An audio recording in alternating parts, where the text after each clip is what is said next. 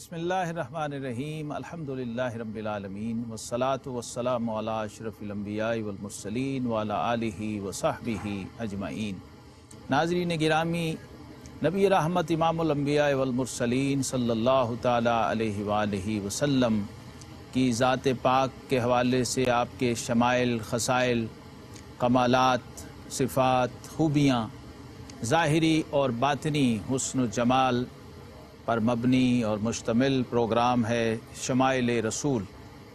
और सुबहान अल्लाह मा अजमल का मा अहसन का मा अकमल का ये जो ज़ात रसालत माप सल्लल्लाहु अलैहि वसल्लम के हवाले से उम्मत ने हर दौर में अपने जज्बात को एहसास को, बातनी और रूहानी कैफियात को मंजूम किया है या मंसूर नसर की शक्ल में पेश किया है। कुरान पाक से मजामी लिए, अहादीस से मजामी लिए और आका करीम तहैत व तस्लीम की ज़ात पाक के साथ अपनी महब्बतों का, अपनी अकीदतों का और हकीकत में अपनी ईमानी जमालियात का इजहार किया है। इसको हम उर्फ़ आम में और अतलाह में शमाइल रसूल कहते हैं। हज़रत इमाम अबू ईसा तिरमज़ी रहमल्ला ताली आपको ये एज़ाज़ व शरफ़ हासिल है कि अशमाइलमहमदिया सल्लल्लाहु अलैहि वसल्लम के उनवान से आपने अपनी किताब तिरमज़ी शरीफ में नबी करीम सलाम के शमाइल को जमा करने की सादत हासिल की, जिसको मुख्तलफ़ तरह से देखने वालों ने बयान किया। नबी रहमत सल्लल्लाहु अलैहि वसल्लम के शमाइल पे हम सिलसिलावार गुफ्तु करेंगे। आज आका करीम सलाम के हुसन जमाल पर जो उसका एक मजमू तासर है आपकी ज़ात पाक को देखने वाले जो हिस्सी तासर लेते हैं, हम उस पर बात करेंगे। आप सल्लल्लाहु अलैहि वसल्लम के वजूद अकदस का हुसन जमाल और देखने वाली आँख को वो हुसन किस तरह लुभाता था और क्या अट्रैक्शन क्या कशिश क्या जाजबियत और क्या हुसन जमाल रखा है? ज़ात खाल के मुतलक ने उस महबूब की ज़ात में जो फ़ी अहसन तकवीम का चलता फिरता नमूना भी है और इस आय करीमा की अमली तफसीर भी है, जिसके लिए कुरान कभी वदुहा कहता है, कभी वशम्स कहता है, कभी वल कमर कहता है। आका करीम सलाम के हुलिया मुबारक को सरापा मुबारक को बयान करना हर एक के बस की बात नहीं है। हर देखने वाले ने कहा कि, व अहसन मिन का लम तरकत्तो आईनी व अजमल मिन का लम ताली दिन निसाओ, खुलिकता मुबर्राम मिन कुल्ल बिन का अन्ना का कद खुलिकता कमा तशाओ। जनाब हसान बिन साबित रज़ी अल्लाह तु कहते हैं कि, हजूर, आप जैसा हसीन मेरी आँख ने नहीं देखा और किसी आँख ने भी नहीं देखा।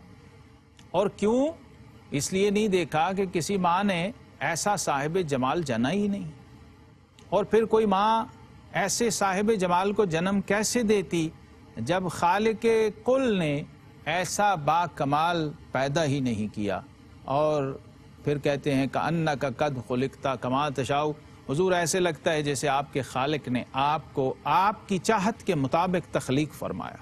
अब सैदना हज़रत हिंद इबन अबी हाला रज़ी अल्लाह जिनको वसाफ़ रसूल कह के पुकारा जाता था, उनकी रिवायत है। सैदना इमाम हसन मुशतबा रज़ी अल्लाह अपने मुँह से रिवायत करते हैं। हज़रत हिंद इबन अबी हाला, ये भी देखिए कि जिन सहाबा कराम रिजवान को यह शरफ हासिल है उनके लिए वसाफ़ रसूल का टाइटल ख़ास हो गया और उनमें सर फहरिस्त हैं। हज़रत हिंद इबन अबी हाला, नवासा रसूल जिगर गोशा बतूल सईद इमाम हसन मुशतबा रज़ी अल्लाह अपने मामू से कह रहे हैं कि, मामू जान, आप बताइए कि मेरे नाना जान का हुसन जमाल कैसा था? आपका पैकर राना और आपके कदो कामत, उसका जलवा क्या था और क्या कैफियत थी और क्या तासर था? तो आप फरमाते हैं कि कान रसूल सल्लल्लाहु अलैहि वसल्लम फ़खमन मुफ़खमा यतला वजहू तलाकमर लैलतुल बदर अतवल मिनल मरबूब अक्सर मिनल मुशज़ब तर्जुमा में पढ़ देता हूँ। कहते हैं कि आप सल्लल्लाहु अलैहि वसल्लम अजीमुल मरतबत अजीमुल मरतबत और बारोब थे। और आप वसल्लम का चेहरा अकदस चौदहवीं रात के चाँद की तरह चमकता था। कद मुबारक मुतवसत कद और किसी कदर तवील था। यानी बयान करने वाला भी हैरान है कि समझा नहीं हनूज, मेरा इश्क बेसबात तू कायनात हुस्न है या हुस्न कायनात? अब कहीं कह रहे हैं कि जो कामत मुबारक है, वो ना बहुत तवील है, ना वो बहुत पस्त है। यानी मयाना कद है। लंबे कद वाले से निस्बतन पस्त थे, और छोटे कद वाले से निस्बतन बुलंद थे। सर अकदस एतदाल के साथ बड़ा था। बाल मुबारक कदरे बल खाए हुए थे, घुंघरियाले बाल थे। सर के बालों में सहूलत से मांग निकल आती तो रहने देते, वरना मांग निकालने का एहतमाम न फरमाते। गोया कुदरती मांग थी रब करीम ने निकाली हुई थी, जिसके लिए इमाम अहल सुन्नत कहते हैं कि लैलतुल कद्र में मतला फजर हक। मांग की इस्तिकामत पे लाखों सलाम। ऐसी मांग थी कि कायनात में हर कोई उस मांग से मांग रहा है और उस बारगाह में दस्ते सवाल दराज करके खड़ा है। तो जब हुजूर सल्लल्लाहु अलैहि वसल्लम के बाल मुबारक ज़्यादा होते तो कानों की लौ से मुतजावज हो जाते थे। आप सल्लल्लाहु अलैहि वसल्लम का रंग मुबारक, चमकदार, पेशानी, कुशादा, अबरू, खमदार, बारीक और गुंजान थे। अबरू मुबारक जुदा जुदा थे, एक दूसरे से मिले हुए नहीं थे। ये अबरू मुबारक जो हैं, ये भी बयान करने वालों ने बयान किया। और इन दोनों के दरमियान एक नुरानी रग थी, जो जलाल की हालत में उभर आती। उससे पता लगता कि इस वक्त तबीयत मुबारक पे जलाल का गलबा है। बीनी मुबारक बायल, मायल ब बुलंदी थी। नीची नज़रों की शर्मो हया पर दरूद, ऊँची बीनी की रिफत पर लाखों सलाम। आप सल्लल्लाहु अलैहि वसल्लम की रीश मुबारक घनी थी, रुखसार मुबारक, हमवार थे, दहन मुबारक इतदाल के साथ फराख था, सामने के दांतों में कदर कुशादगी थी, सीने से नाफ तक बालों की एक बारीक लकीर थी। आप सल्लल्लाहु अलैहि वसल्लम की गर्दन मुबारक इतनी खूबसूरत और बारीक थी, जैसे किसी गोहरे आबदार को तराशा गया हो, और वो रंगो सफ़ाई में चांदी की तरह सफ़ेद और चमकदार थी। आप वसल्लम के आज़ा मुबारक पुरगोश थे, मोतदिल थे, एक दूसरे को मजबूती से पकड़े हुए थे। और पेट और सीना मुबारक हमवार थे। सीना अकदस, फराख था, अलम नशरह का सदरक, जिसे कुरान ने कहा। दोनों शानों के दरमियान मुनासिब फासला था। जोड़ों की हड्डियाँ कवी थी। बदन मुबारक का जो हिस्सा कपड़ों से बाहर होता, रोशन नज़र आता। नाफ और सीना के दरमियान एक लकीर की तरह बालों की बारीक धारी थी। सीना अकदस और बतन मुबारक बालों से खाली थे। अलबत् बाजुओं, कंधों और सीधा मुबारक के बालाई हिस्सा पर कुछ बाल थे। कलाइयाँ दराज थी, हथेलियाँ फराख थीं। नीज हथेलियाँ और दोनों कदम पुरगोश थे। हाथ पाँव की उंगलियाँ तनासब के साथ लंबी थीं और आप अलैहि वसल्लम के तलवे, कदरे, गहरे और कदम हमवार और ऐसे साफ़ थे कि पानी उनसे फ़ौरन ढलक जाता था। ताजे कुछ के मोती जिन्हें सजदा करें। रखती हैं वल्लाह वो पाकिज़ा गोहर एड़ियाँ।